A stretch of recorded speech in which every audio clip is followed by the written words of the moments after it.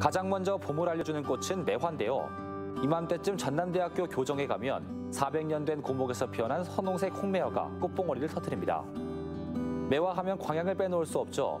내일부터 매화 축제가 시작되는데 순백에 눈을 뒤집어 쓴 것처럼 화사한 매화꽃을 볼 수 있습니다. 매화와 함께 섬진강을 따라 걷다 보면 구례 지리산 자락에 산수유꽃이 반기는데요. 국내 최대 산수유 군락지답게 산기슭을 온통 노랗게 물들입니다. 봄 하면 뭐니 뭐니 해도 개나리가 떠오를 텐데요.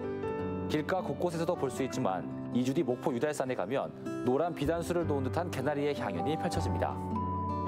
진달래의 물결을 보고 싶다면 여수 영치산으로 향하면 되는데요. 3월 말이 되면 아이의 발그레한 볼처럼 분홍빛으로 만개한 진달래꽃을 볼 수 있습니다. 다음 달 초에는 벚꽃이 우리 곁을 찾아옵니다. 영암 왕인박사 유적지와 보성 대원사 가는 길에 벚꽃 터널이 만들어지는데요. 벚꽃이 하늘에 가득 메워 꽃비가 내리는 것 같은 장면이 연출됩니다. 나주 금천면 일대는 소박한 하얀 백꽃으로 뒤덮이면서 다시 겨울로 되돌아간 듯한 착각을 불러일으킵니다. 전국 최대 배 생산지답게 나주에서만 볼 수 있는 풍경입니다. 5월에는 가는 봄을 시샘하듯 가장 강렬하게 피는 철쭉을 곡성에서 즐길 수 있습니다. 17번 국도와 섬진강변을 따라 끝없이 펼쳐진 붉은 꽃길이 황홀한 장관을 이룹니다.